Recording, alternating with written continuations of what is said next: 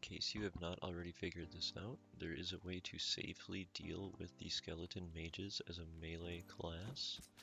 All you have to do is aggro them, bring them to a corner, wait for them to shoot a fireball at you, and then rotate around the corner so they damage themselves with the AoE and the fire on the ground.